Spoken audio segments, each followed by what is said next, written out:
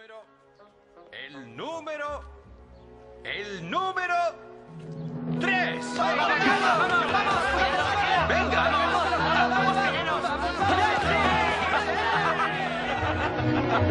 ¡Bien, Don Bosco!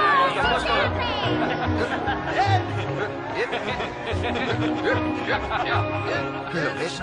Todos los domingos igual.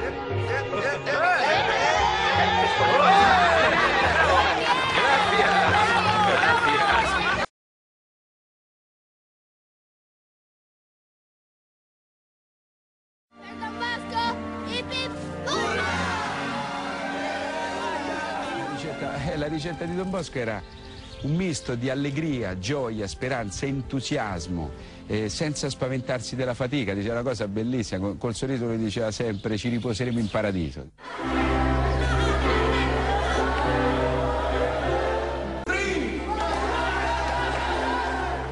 Lo so, tutto il giorno avete lavorato, corso, il traffico, le notizie, i GR delle giornate, notizie brutte, bruttissime, le guerre, la fame, l'euro, le cose, tutti i problemi che ci abbiamo, così come c'aveva i problemi Don Bosco con l'oratorio, con i ragazzi, perché quella è una vita ancora più dura di quella che facciamo noi, però proprio come diceva Don Bosco, io mi permetto di dirvi, state allegri.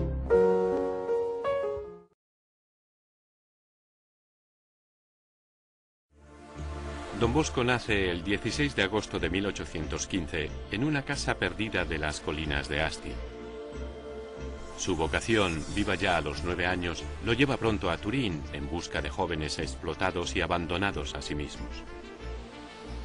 Don Bosco es un gran comunicador que aprovecha los media de la época y se improvisa saltimbanqui, malabarista, cantante, prestidigitador, con tal de arrancar a la calle a sus muchachos.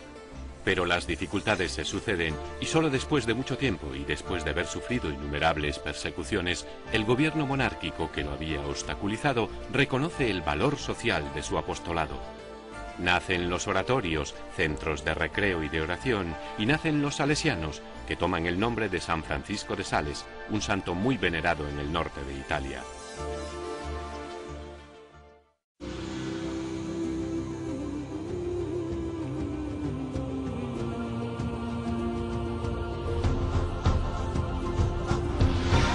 Los salesianos son una congregación religiosa que se dirige preferentemente a los jóvenes, con una atención especial hacia aquellos que, a causa de la pobreza económica, social y cultural, no tienen las posibilidades de construir las bases para su futuro.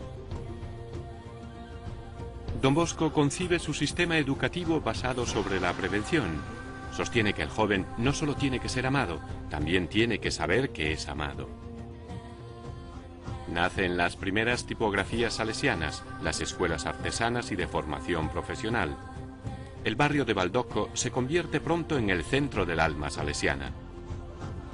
En 1868 es consagrada la Basílica de María Auxiliadora y la energía que se libera de centenares de muchachos entusiastas comienza a contagiar el mundo. La obra de Don Bosco comienza su gran viaje. El espíritu salesiano del santo prevé que la vida ha de ser afrontada siempre con alegría y optimismo, sin dejarse desanimar por las dificultades, y su método pedagógico, adaptable incluso a las religiones no cristianas, permitió que la congregación salesiana se difundiera en 128 países y en los cinco continentes. La herencia de Don Bosco fue recogida por más de 16.000 salesianos que, repartidos en todo el planeta, continúan la obra de este obstinado santo piamontés que supo mirar al mundo con los ojos del amor y la fe. La congregación salesiana, compuesta por seglares y religiosos, es activa en todos los campos de la información, en las editoriales y la radio, en la prensa y la televisión, y dispone además de centros de formación profesional, universidades, colegios e internados juveniles para muchachos sin familia.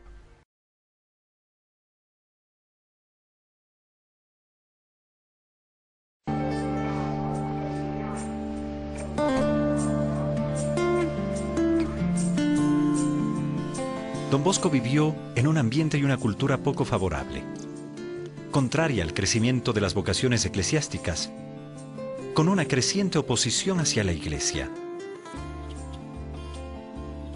La libertad de culto y la activa propaganda protestante desorientaban al pueblo sencillo, presentando una imagen negativa de la Iglesia, del Papa y del clero. Se había creado en el pueblo y sobre todo entre los jóvenes un clima impregnado de ideas liberales y anticlericales.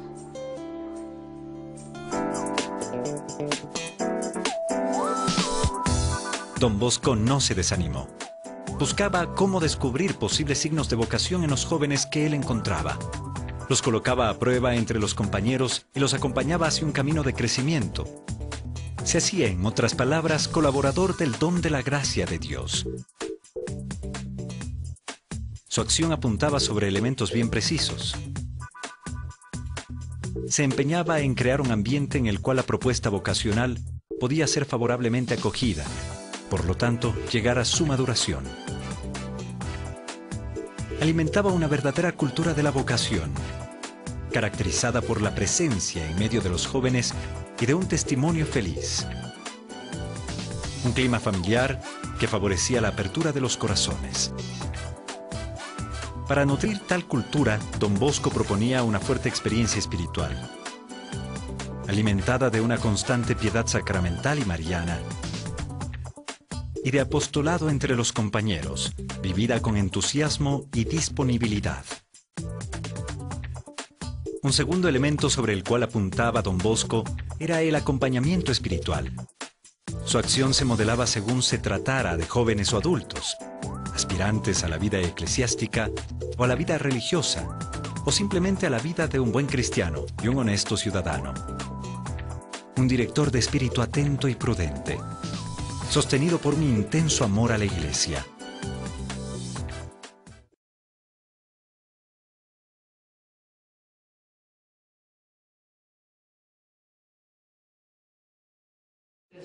tu sueño y sigue siempre tu sueño. Cuando uno tiene una causa por la cual vivir, cuando uno tiene una vocación que le dé sentido a la existencia humana, los problemas son pocos. ¿Quieren ser felices siempre, mis queridos jóvenes? Descubran el sueño de su vida. Descubran una razón por la cual vivir. Entonces el corazón se les llena de inspiración, de energía. Entonces podrán levantar cada día con entusiasmo, porque hay tanto que hacer. ¿Quieren ser felices? Descubrir que la vida es un ideal, es un sueño, es una misión. La segunda cosa que Don Bosco le dijo a los chicos, ¿quieren ser felices?